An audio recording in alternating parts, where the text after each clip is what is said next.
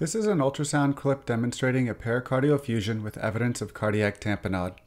A phased array probe is used as delineated by the shape of the footprint at the top of the screen. Notice the probe marker is on the right side of the screen here, which is the traditional cardiology orientation. Based on the structures we are seeing in this parasternal long axis view, the probe is placed along the left sternal border, approximately at the fourth intercostal space, with the probe dot oriented towards the patient's right shoulder. Let's look at some important anatomy.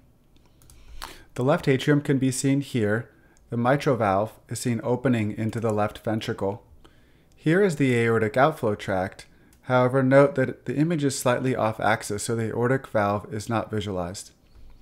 The right ventricle can be seen here. Notice we also see a descending aorta, as noticed by this circular anechoic structure. Surrounding the heart we can appreciate anechoic areas, which is consistent with a pericardial effusion.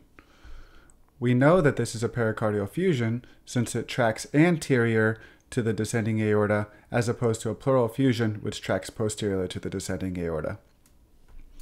Not only do we see a pericardial effusion in this image, but we also see evidence of cardiac tamponade, which is demonstrated by presence of right ventricular diastolic collapse, seen here. The easiest way to demonstrate this is to slow down this clip and notice that the mitral valve is open, which is in diastole. The RV wall is seen collapsing. So if we pause our image here, let's move through this slowly.